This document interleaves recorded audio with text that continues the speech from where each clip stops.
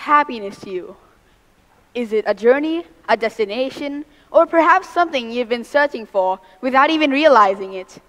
To let you know me better, let me introduce you to my parents.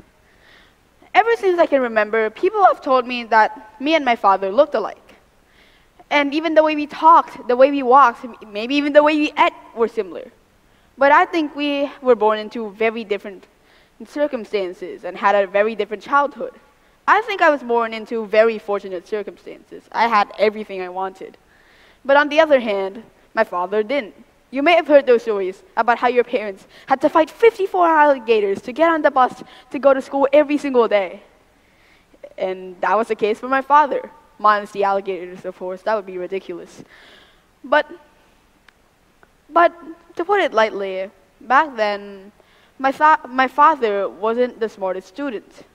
And the reason he had to get on the bus to go to school so far every day was because he couldn't get, get accepted into school close enough to home. But then he had a comeback worthy of a movie character and decided he wanted to be smart now and got accepted into Chula University, graduated within three and a half years, then went overseas, got two master's degrees, and came back to Thailand and got a job as a lawyer at various different companies like Pizza Hut, Microsoft, Accenture, and various more that I couldn't name. And for a while, life was good. He had a good career, he met my beautiful mother, and most importantly, he gave birth to the most handsome, amazing, intelligent, future Nobel Prize winner, me. But not content with her genius, intelligent son, my mom also wanted a daughter, and that's how my sister was born. Cue to Disney saw happiness. My life was like a fairy tale filled with joy, love, and I was just in the ideal family. But then everything changed at the arrival of the diagnosis. My dad was told he only had one year left to live because he had stage four cancer. And after he fought against it for 18 months, becoming weaker and weaker day by day, he passed away when I was only five years old. I, when he was still alive, I saw him getting thinner and thinner, but I just thought he was on a diet. I saw him less at home, but I just thought he was busy at work. I didn't even understand he would be gone permanently. My mom explained to me that my dad was like a broken toy who just had to be fixed elsewhere, not where I can be with him ever. I only started to understand he would actually be gone permanently when I was seven years old. And at that time, every mention of him would make me cry. Since he passed away when I was so little, Almost everything I knew about him was learned through stories, his Facebook, maybe his work ID card. And if I did remember them myself, it was very blurry, like a distant dream. And of course, all the things I knew about him were super positive. It was all about a clever, devoted fighter who would never give up, perfect like in the movies, which made him my idol. I always dreamt of being a lawyer, even though I never knew what a lawyer was. And I felt like I was missing something, like he was the missing piece of my happiness.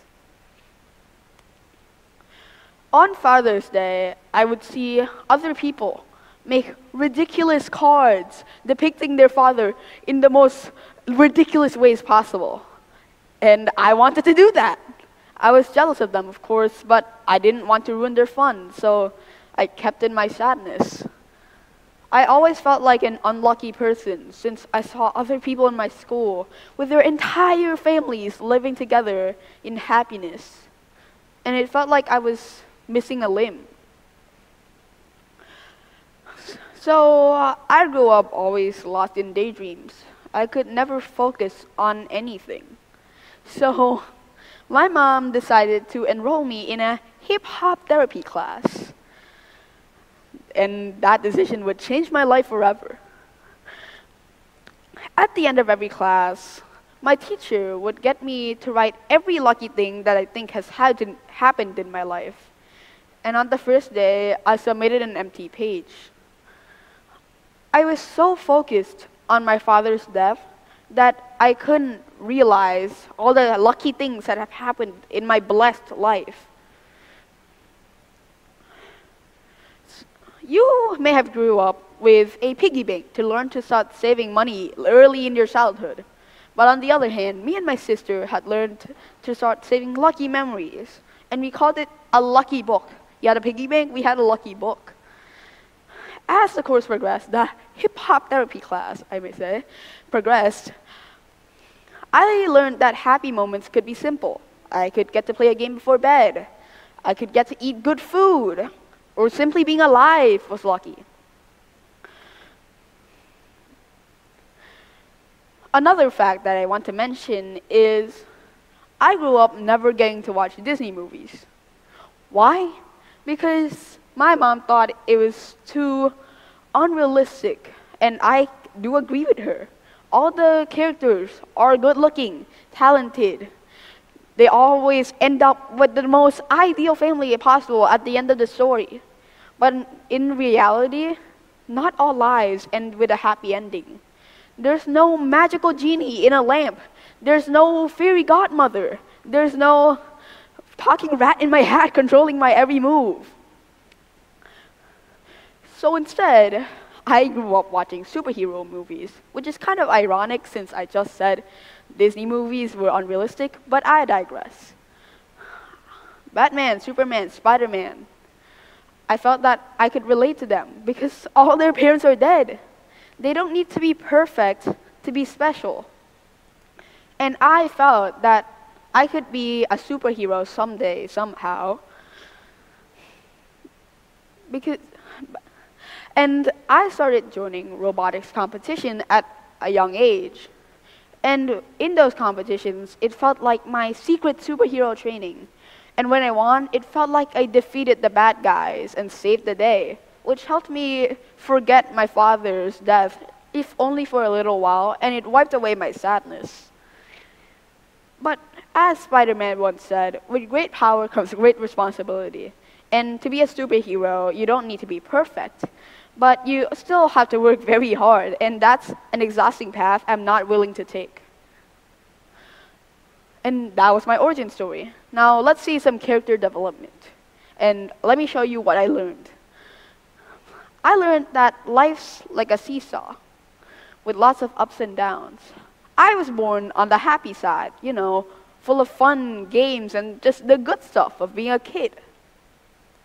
But one day, my father left, and it sent me to the unhappy side it felt like a roller coaster drop, sending me to another dimension that I never knew before. Life felt different. It felt gloomy, not the same as I was used to. Then I started joining robotics competition, which helped me go fly high again. And it helped me become happy again. But it was not long until I started losing and it rocketed me back to the sad side. But as I matured, I learned that that wasn't the best way.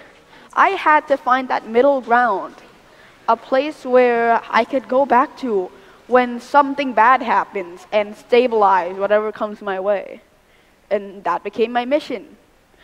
I learned that happiness isn't always about chasing after the good stuff or hiding away from the sad stuff.